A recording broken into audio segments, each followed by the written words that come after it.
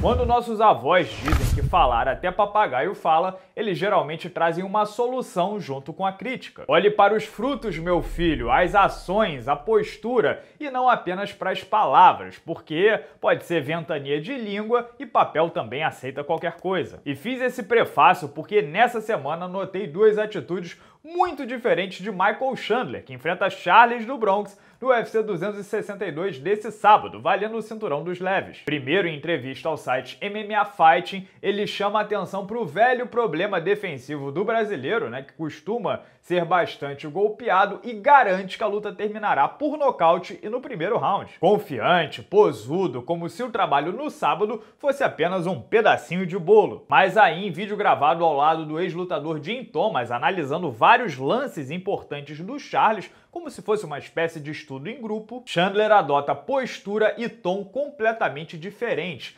acanhado, introvertido, como se toda aquela confiança tivesse escorrido pelas pernas. Detalhe, na primeira entrevista tivemos acesso apenas ao texto e ao áudio. Já nessa segunda, com o Jim Thomas, as imagens, as expressões corporais do cidadão. Eles começam dizendo que no início da luta Charles trata sempre de correr até o centro do octógono para começar ditando as ações. No caso do Kevin Lee, que tem um perfil técnico muito parecido com o do Michael Chandler e aceitou que o Charles tomasse a dianteira, né, não tentou antecipar ficar com o peso nos calcanhares atrapalhou muito, porque o wrestler com mão pesada andando para trás tá quase sempre subaproveitado. Esses caras geralmente precisam ser bullies para performar. Depois eles ainda notam a armadilha que é a postura muito ereta do Charles contra wrestlers. Como não se importa em ser derrubado, Charles fica levantando os joelhos para marcar a entrada e tentar pegar de encontro quem está chegando, e também para convidar as quedas e acabar no chão. O Jim Thomas, que foi treinador da American Top Team por muitos anos, ainda chama atenção como a guarda do Charles às vezes fica alta demais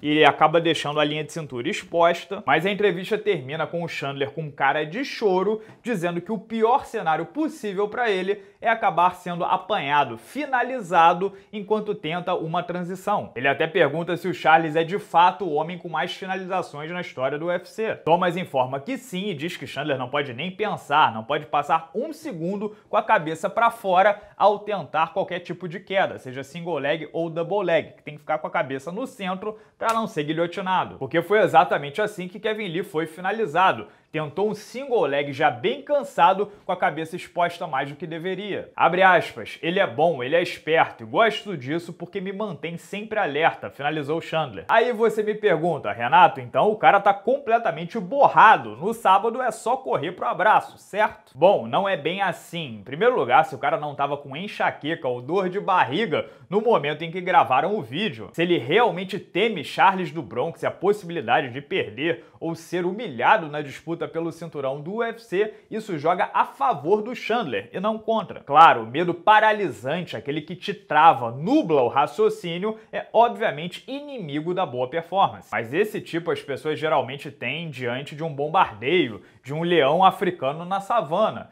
e não de um par, né, de alguém do seu nível dentro do octógono. Além de wrestler All-American, Chandler tem 27 lutas profissionais, marcou época no Bellator e estreou no UFC com uma pressão, uma expectativa enorme metendo o pé na porta. Sei que essa é a maior luta da carreira dele, mas também é um duelo extremamente equilibrado. Charles é só um pouquinho, um fio de cabelo favorito nas principais casas de apostas. Já o medo comum de ser finalizado, perder a chance ou qualquer coisa do tipo funciona exatamente como o próprio Chandler descreveu. Te deixa alerta, aceso, liga a luz vermelha, aciona o senso de urgência, exatamente como você deve estar numa situação como essa. Se ele tivesse subestimando o Charles, tranquilo, relaxado, como se fosse caminhar no parque, é aí que a casa cai. Grandes da história, como Mike Tyson e Jorge St-Pierre, falam sem nenhum tipo de vergonha sobre o medo que sentiam antes da hora de trabalhar, e era sempre. E não dá para questionar aqui os resultados de um ou de outro. Jorge St-Pierre, por exemplo, jamais dividiu o octógono com alguém que ele não tenha vencido. Então, para todo mundo que tá apontando que o Chandler tá com medo do Charles se baseando nessa entrevista, sim, pode ser que ele esteja mesmo. E aí, acuado, tenso, que ele será mais perigoso. E digo mais, é bom que o Charles esteja na exata mesma vibração nesse sábado. E como sempre, pessoal, esses são apenas os meus dois centavos, o meu ponto de vista. O que vocês estão achando sobre essa dualidade do Michael Chandler, que às vezes está supremamente confiante e às vezes nem tanto, meio cabisbaixo, meio murcho. Acham que o Charles pode apertar no verde e confirmar nesse sábado? Comentem livremente aqui embaixo no vídeo, se inscrevam no canal para não perder nenhuma resenha. Um pequeno recado, né? Ontem eu anunciei que serão sete camisas sorteadas para os membros do sexto round nesse mês agora de maio. Acontece que um dos sorteados do mês de abril é, mandou um e-mail para a gente um dia só depois do deadline dizendo que ele não entrou em contato a tempo porque foi a semana de nascimento do filho. Ele comprovou, mandou o post lá no Instagram do filhinho dele, bonitinho, que acabou de nascer, me sensibilizou, então eu vou mandar a camisa do cara que é direito. Então esse mês passam a ser seis camisas sorteadas para os membros do canal, que também têm acesso a conteúdo exclusivo, participam do nosso conteúdo e ajudam o canal a crescer. Se quiser virar membro, considere clicar no botão azul Seja Membro aqui embaixo.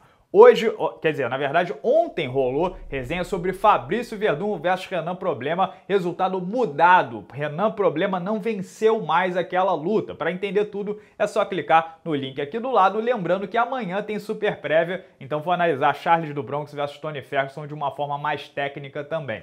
Fechado? Muito obrigado a todos pela audiência de sempre, um grande abraço e até a próxima.